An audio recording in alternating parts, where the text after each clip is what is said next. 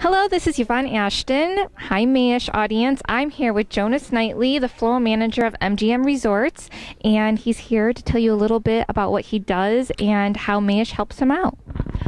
Well, I'm Jonahs Kneitly. Like she said, I'm floral manager for MGM Resorts events. Uh, we do all of the internal events for MGM International Corporation here in Las Vegas. Uh, this year we did about 900 events.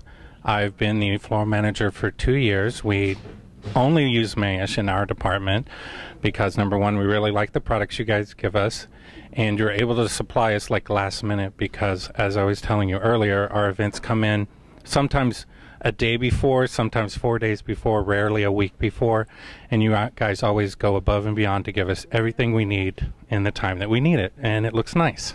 So thank you. Thank you so much, Jonahs.